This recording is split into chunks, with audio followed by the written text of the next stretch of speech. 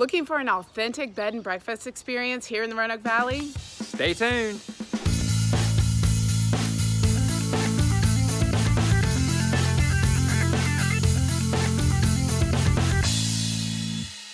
Everybody, it's Hal Cone. And Kris Cone with Cone Realty Group. This is your first time to our channel, fifth, 50th, 100th time to our channel, and you haven't clicked that subscribe button, please make sure you do that now and that bell icon so you're notified each and every time we release a new video about living, working, and playing, and a little bit of real estate here in the Roanoke Valley. That's right. We have folks constantly contacting us saying they want to move to or within Roanoke, Salem, Botetourt.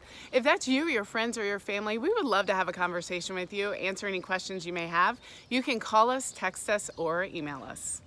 Okay, so we are in Old Southwest today. It is just gorgeous out here. It's springtime. Yeah. Humidity is low. The temperatures are just fine. And we're just kind of cruising around here so that we can get inside of a unique bed and breakfast here located right here in Old Southwest community. Yeah, and we want to encourage you, you know, when you're visiting here, bed and breakfasts are a wonderful option for accommodations. They're usually locally owned and operated, and you really get immersed in the culture of the place that you're staying. And I just, I love it because you get to speak with the innkeepers, you get an excellent breakfast, great mm-hmm. accommodations, and we have so many to show you today. I'm really excited about bringing those to you like she said, we're proponents of locally owned and operated mm -hmm. bed and breakfast by all means. Authenticity is huge to us. So whenever we've traveled in the past, you know, we have sought out some of these unique bed and breakfasts. Like in Washington State, whenever I was in healthcare IT, we actually got to stay there because the hotels were booked up. So we got yeah, to stay in, in, a, in, an actual bed and breakfast. So she got to enjoy the bed and breakfast oh, while lovely. I worked. you work so hard. Such a good guy. And then, yeah, up in Maine, um, we stayed at a couple bed and breakfasts, and my best friend and I did too. And they're just so lovely. I mean, there's something really charming and romantic about staying in a bed and breakfast.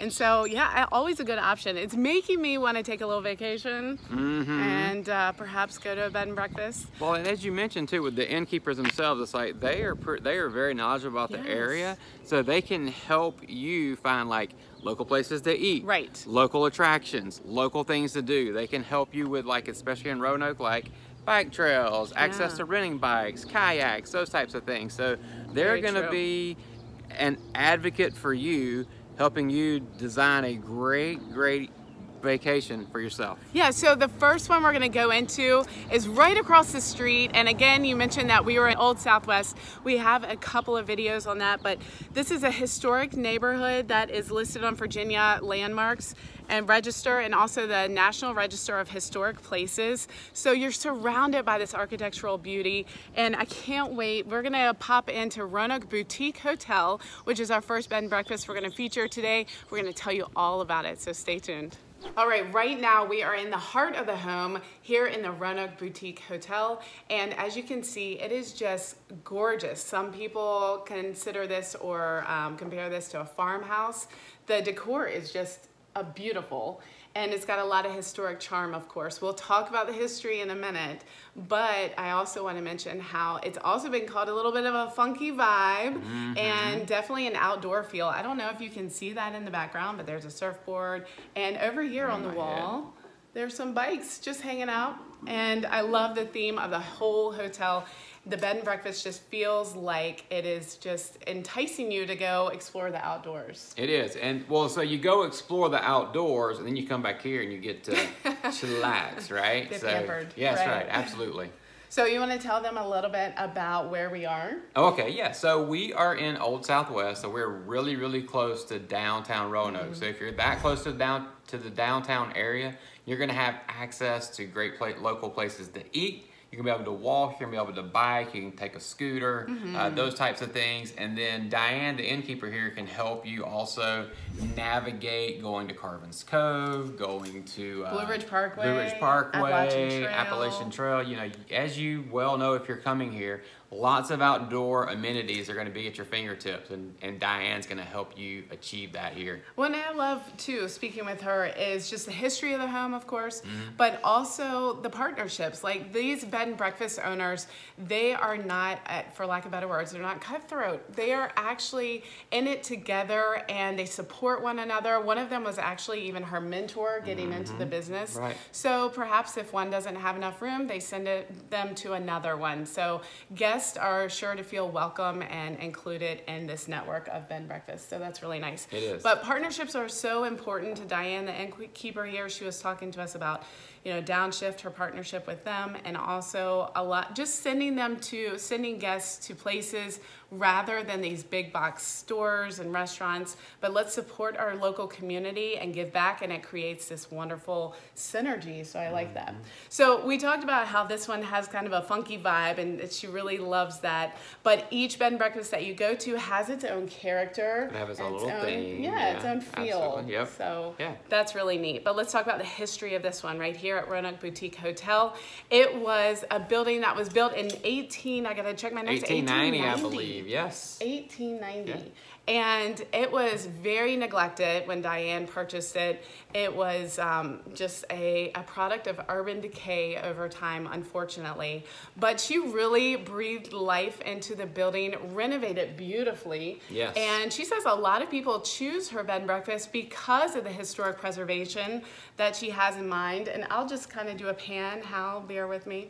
But uh, you'll be able to see bits and pieces of this as we showcase things throughout the afternoon. Uh, but it is just, it's such a beautiful place. You can see all the exposed brick, original details of the house throughout. And it is a beautiful mix of outdoorsy, modern, and that farmhouse original history. So if that's a thing, then she nailed it. Of course it is. Yes. I mean, I mean, I think the stats prove it. You know, the fact that she has people here Right. consistently. I'm sure repeat customers has people from the UK come over. So I mean, she she's hitting it on all cylinders. Now we've come upstairs and we are sitting in Reed's room right now, and we're right adjacent to the um, to Raven's Roost. So Raven's Roost is a suite here at the Roanoke Boutique Hotel With the clawfoot tub. with a clawfoot tub. Beautiful. Yes. And, beautiful. and then Reed's room here does not have its own bathroom uh, en suite, but it's right across the hall. Super nice bathroom. I know, it was really nice. Yeah. I wouldn't mind doing a little trek down the hall for that bathroom. That's we'll have to get that in the B-roll. It's beautiful. Absolutely. and then downstairs in the basement is a, is a second suite, which is called the Beverly Suite, which has this really cool, um, its own little private uh, patio area with a cool swing. So we'll get some, uh, we're actually going to film something there here in a few minutes. Well, not only that, it was it's a massive space that you can use. It's got the, of course, the the bedroom, but it's got a living space area, a kitchenette, a yep. full table, its own bathroom, and then that outdoor area, even an outdoor shower. I love, love, love it. And so during the day, Diane said, of course, her favorite thing is meeting guests and, and learning more about them, but also about encouraging people to explore and enjoy these outdoor activities that we have at the tip of our fingertips here in the Roanoke Valley. So after a long day of biking, kayaking, fishing, whatever you do, then come back here. And what did you say? Take a I little said what? take a nap. Take a a little little siesta. But yes. if you're ready for your long nap after a great dinner at a local restaurant that she recommends, you can curl up in this cozy bed. Mhm, This is a nice king bed, super comfy. Yes, it is. Yeah. Yes, All the beds look very inviting. Mhm, very plush. say. Uh, but in the morning, she is going to fix up a beautiful breakfast. One of her more popular breakfasts is plant-based protein breakfast, and that is sure to get your day going well. Unless you choose to do breakfast on the mountain, but you, it is not for the faint of heart. She said it's an eight mile trek, so you gotta be adventurous. But she can hook you up. So you get up, you put headlamps on, and you hike up McAfee's Knob so that you can see the sunrise, which is just spectacular. So Yeah, and McAfee's Knob is really the iconic picture of hiking and the gorgeous summit overlooking this breathtaking view of the entire region. So you're probably familiar with hearing about McAfee's Knob. Could you imagine a picnic breakfast up there? No. A strenuous hike for sure. This is not for the faint of heart, Yep. like you said, but uh, but that would be so rewarding to hike up in the dark, have a great breakfast, and then hike back and get to see everything in the daylight. So you may not be able to see our faces very well, but that's the whole point right here Yes. because we want to showcase this amazing porch swing here at Roanoke Boutique Hotel. Isn't that gorgeous? I mean, I would is. love to curl up there, take a little cat nap, listen to a little music, have a glass of wine. Mhm. I'm telling you, we need a vacation. A staycation here in Roanoke. We'll just do it uh, local, right? So we'll support local uh, with our wallets and our There you time. go. So, but while we're here, and this is a great spot to highlight a couple of the other uh, bed and breakfasts that we want to talk to you about today. So, which one are we going to talk about now? We're talking about Shirley's Bed and Breakfast, which is a really one of the top rated bed and breakfasts in the area. It gets such great rem- remarks and reviews, and it's a vintage bed and breakfast with a twist. And I know what you'll like. They serve a southern breakfast, an authentic southern breakfast. So I can imagine how good that is. Cha-ching. Yummy, yes. yummy, yummy. And I think I saw something about hot rod cars, right? Yes, they have a collection of hot rod cars, and by going back to kind of the charm of it, Oh, it sorry, is. I uh, jumped ahead. I My know, bad. I know, I know. It's based on West Virginia lodging, and so it has a. It's a neat log. Of, um, It's a log cabin style. yeah, thank you, log Is it? cabin style. Yeah. So I'll have to check that one out. I think that sounds really neat. But it's what what I love about it is the convenience. It is close to just about everything, right? Mm-hmm. Yeah. What's one of your favorite golf courses that you haven't been to?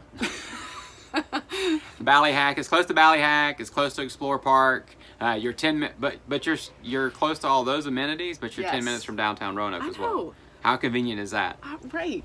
If you're not familiar with Explore Park, which it's really close to, there are so many amenities there for the outdoor lovers. I mean, hiking, mountain biking, fishing, kayaking, tubing, tree quest. Horseback riding. Yeah, horseback riding. Yeah, bring your own horses, I believe. Treetop quest. Treetop right? Quest, yeah. Yeah, and then there's there's just so much to do there. It's a fantastic place. There's even camping there. Mm-hmm. Yeah. Twin, Twin Creeks Brewery is there as well. That's true. There's yeah. A, there's a big visitor center there, so you can uh, definitely find out more about the Roanoke Valley as well as uh, entertain yourself. Yes. So let's hop back to Shirley's and talk about some of the amenities they have. They have a pool. In addition to a collection of hot rod cars, they have really spacious large suites and a cottage for more privacy. I like that. That's that's nice, especially if you have a bigger family that's coming or doing a couple of, of uh, families combined for a vacation. That would be nice. Yeah, I was thinking if you're staying in bed and breakfast, in my opinion, part of the quaintness and the attractiveness of it is the fact you get to mingle with Yes. people uh, throughout different visitors from different places, right? Right. So you get to find out about them and socialize and all that that type of stuff. Yeah, agreed. And then they also have a fridge in each suite and complimentary snacks, beer, and wine, and of course a cleaning service too. So I, I like this uh, Shirley's bed and breakfast a lot. I think we will definitely put that on the list of go to. Okay. ching ching. okay, so our next authentic bed and breakfast we're going to bring to you now is going to be the Black Lantern Inn. And I like the location of this. Convenient again to downtown, yet all those outdoor attractions and amenities we talked about.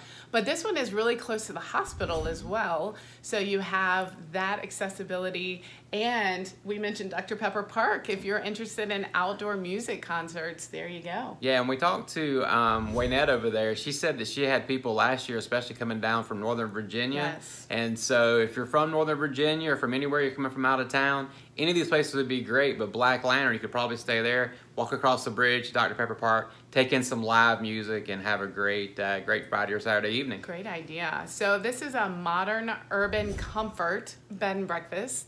And what I like about it is that there are bathrooms in each of the three rooms. But I think that's really a matter of preference, right? Diana was talking yeah. about how some families actually enjoy having the the bathroom separate from the bedroom. So there you go. This one offers Mm-hmm. bathrooms in all three, and they have a lot of other amenities like full use of the kitchen and also a fire pit. That would be great, especially now in the spring. Wonderful evenings Spring, for that. fall, yep. A perfect view of Mill Mountain Star, and as you know, it illuminates at night, so you'll get that gorgeous quintessential Roanoke feel, right? Mm-hmm. Yeah, and they pulled the Ro- city of Roanoke pulled a um, fast one on us on April Fool's Day. They told us they were going to change the shape of the star. Yes. They were voting on mountain, square, or circle. That was a good one. That was good, yeah. Covered porches. You also have organic breakfast and luxurious accommodations in the way of your mattresses, sheets, and pillows. So sounds like you could get a really great night's sleep. But when you're not sleeping or enjoying a hearty, great breakfast, they offer a lot of packages as well. Like um, if you love antiques, they have a package for you. And also with your stay is included with a tour of the area with or without a guide and dinner. So you know me, I love getting tours wherever we are, whether it's a Uh-huh. trolley tour or I have a local come up and give us some tips. I soak that in. Yes. and I'm all about the food tour, right? So if we can get the brewery and or breakfast tour, that's where I'm at. I want to show you the Oh. main event of Roanoke Boutique Hotel. This is Frank. Look how sweet. oh, and Diane told us that if you go to, he likes give out. me sugar. All right. Oh. If you like them on Instagram, you'll be able to see pictures of Roanoke Boutique Hotel as well as Frank. Apparently, he is a very popular pup. That's right. Follow him on Instagram. Okay, so so let's talk about the uh, the last authentic bed and breakfast we're going to give you today is going to be the King George Inn here in Roanoke. Yes, and this one is located in Old Southwest as well, so you're close to a lot of things. You are framed by the Blue Ridge Mountains and within walking distance to downtown again. So very super convenient. I love that. They have a gourmet breakfast. Well, and you're if you're close to downtown, you have a gourmet breakfast, and you're going to have to make sure you're walkable, right? Yes. So you walk downtown, check out Mast General Store, check out Chocolate Paper, you know, check out some restaurants because you'll be hungry after you walk a little while, right? So Mm-hmm. Or you would, or I would, yeah, of course. Yes, of course. And then, so um, some of the amenities I like here, of course, they have internet for you and for guests. And so they have library as well, breakfast and dinner, mountain views, and also a wedding venue with packages. So if you're looking for a quaint, beautiful, charming wedding venue, this may be the ticket for That you. might be the spot for you, Yeah. absolutely. Consider King George Inn for sure. Stay on site, wedding on site. Can't get much better than that. I know, yeah. So we encourage you to check all of these bed and breakfasts out in more detail. We just skimmed the surface. Each one, like we said, has its own vibe, and you're sure to find one that pleases you, and it just it adds to your enjoyment of your visit here in Roanoke. All right, so if you're coming to visit Roanoke, make sure you check out the rest of our videos that will help you have a splendid excursion when you find Roanoke as your destination for a weekend or a week or a month or whatever. Or forever. Yeah, there you go. if you have any questions, you're welcome to call us, text us, or email us.